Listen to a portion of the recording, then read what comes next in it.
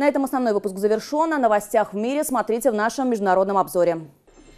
Петр Порошенко наградил почетным знаком полковника в запасе ВВС Украины Юлия Мамчура, которого в России подозревают в причастности к убийствам и бомбардировкам мирного населения в Донбассе. В начале 2013-го Мамчура, как летчика первого класса, назначили на должность командира Севастопольской бригады тактической авиации воздушного командования «Юг». А уже через год он был задержан в Крыму по подозрению в организации террористических актов на территории полуострова. После проверки правоохранительными органами в марте прошлого года он был освобожден.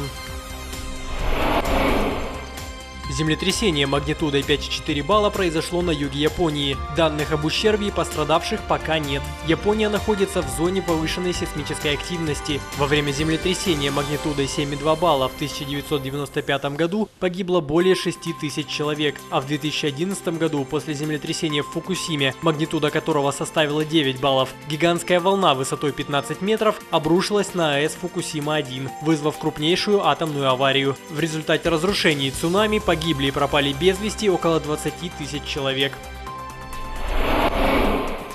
США арестовали 49-летнюю Ким Дэвис за отказ регистрировать однополые браки, в результате чего у здания федерального суда в штате Кентукки собрались сотни демонстрантов, выступающих за и против гей-браков. Ранее Дэвис заявила, что отказывается выдавать свидетельства о браке однополым парам из-за своих религиозных убеждений, даже под угрозой тюремного заключения. Напомним, 26 августа Верховный суд США вынес вердикт, согласно которому однополые браки не противоречат американской конституции.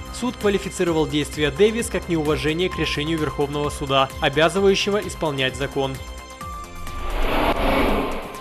А профессиональная серфингистка Мот Лекар прокатилась по волнам в коротком платье и на высоких каблуках. Девушка решилась на такой необычный поступок из-за того, что проиграла спор. По словам француженки, своими действиями она доказала, что серфинг может быть гламурным. Лекар занимает 15 место в международном рейтинге серферов. В нынешнем сезоне спортсменка победила в семи крупных соревнованиях.